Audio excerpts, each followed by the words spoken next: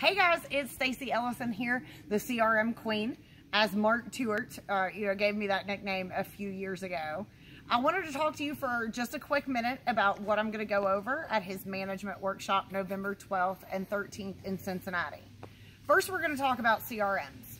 We are going to analyze the specific campaigns and processes in your CRM to make sure that they match the culture. We're going to hunt down lost revenue in your CRM.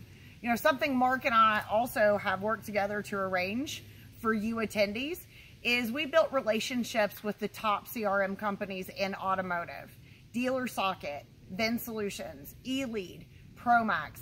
I have corporate teams on standby during the event to make sure you get immediate assistance you know, something else you're going to get from me while we're there is my never before released public document on CRM and DMS companies. What are you going to ask them? What do they have to show you? What I think you should do before you sign on the dotted line. That document is going to be absolutely, absolutely epic. You don't want to miss it. Um, on to internet opportunities. Guys, the days of the UPS bus dropping customers off at your dealership, they're over. That bus is broke down. It's never starting again.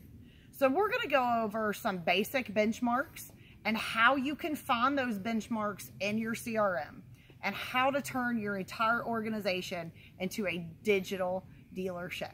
So November 12th and 13th, Cincinnati, I will personally analyze your CRM and give you areas of opportunity that I see that won't cost you that big buck. So I'll see you there.